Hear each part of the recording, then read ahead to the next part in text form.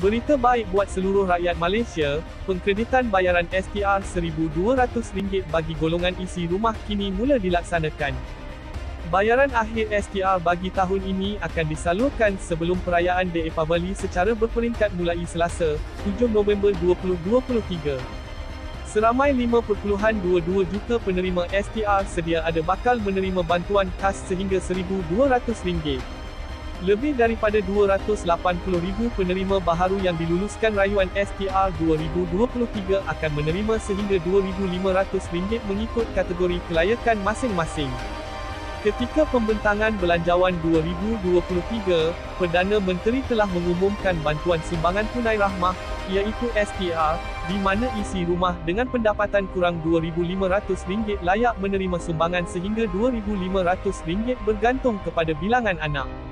STR merupakan salah satu inisiatif di bawah konsep Payung Rahmah yang bertujuan untuk membantu golongan yang kurang berkemampuan dalam menghadapi cabaran kos sara hidup. Kerajaan juga akan memberi bantuan STR tambahan RM600 kepada isi rumah termiskin mengikut data IKASIH.